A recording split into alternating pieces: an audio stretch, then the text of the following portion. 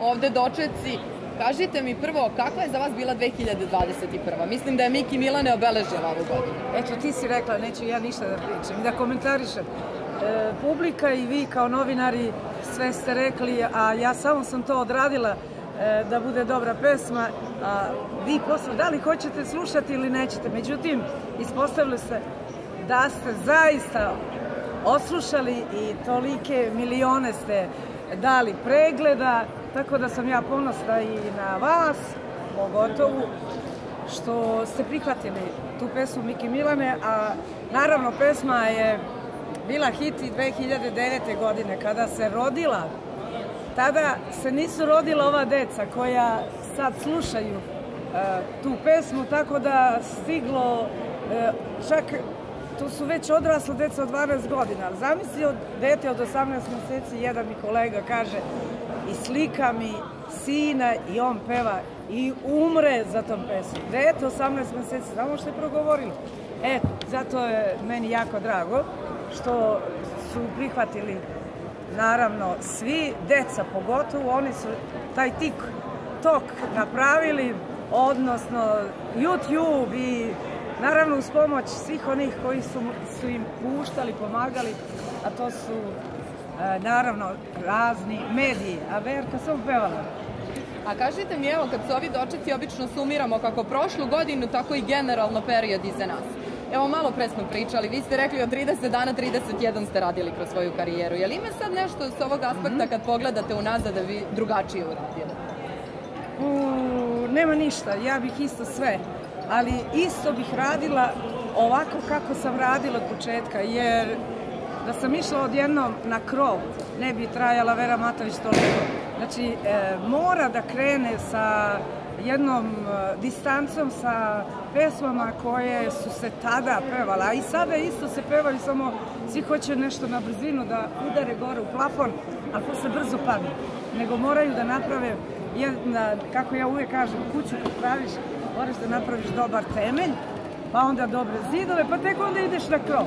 E to sam ja radila. Tiha voda bre grobni, tako da sam e, e, dug niz godina u ovom, e, e, kako bih rekla, e, narodnjačkom, vidim da vam smeta neko. Da, ali... samo trenutak, izvinite, snimamo trenutno samo malo levo, desno i to je to.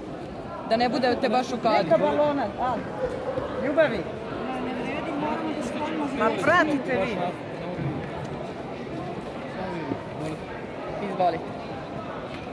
Uglavnom, hoću da vas pitam, jel postoji nešto za čim žalite? Toliko vreme provedeno u druženju sa publikom, znam da je sigurno bilo lepo i da su to uspomene za sva vremena, ali jel postoji negde žal za tim da niste više vremena možda provodili sa svojim najbližima? Ove praznike generalno niste provodili. To je to, to je to. E, ove dve godine unazad barem sam se družila dosta sa porodicom, ali mi je nedostajala publika.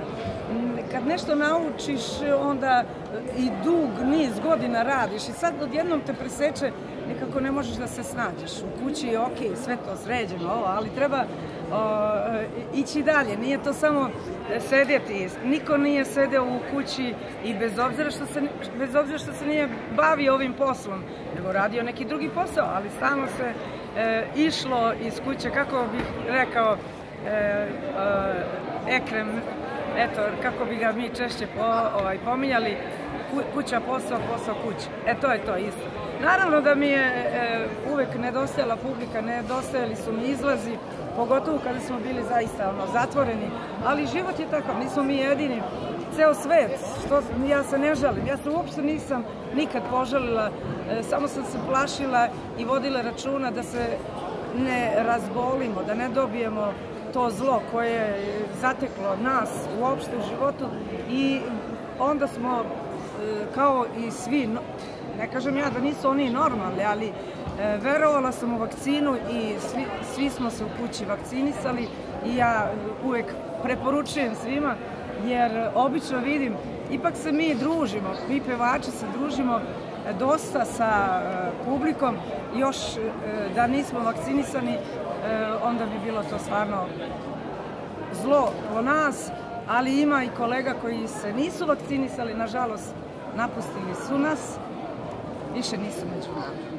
A kad stavite sad na vagu negde koliko je bilo suza, koliko je bilo smeha, šta vam je u ovoj godini bilo negde najteže, kad ste najviše plakali, a kad ste se najviše smijali?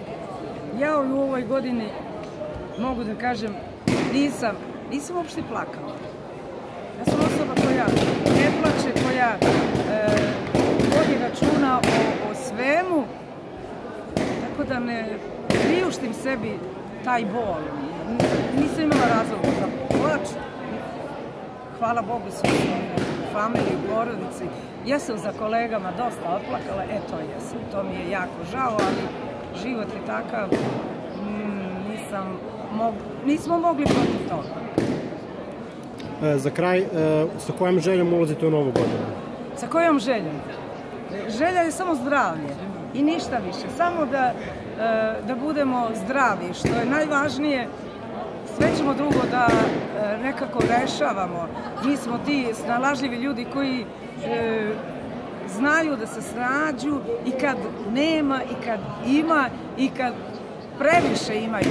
Znači, ljudi smo koji stvarno možemo da, da sebi priuštimo najlepše nešto što može da bude. Znači, snalažljivi smo kao neka mačka koja e, padne sa nekog e, devetog sprata ili kako kaže, baci mačku u, viz, ona će se na noge dočekati.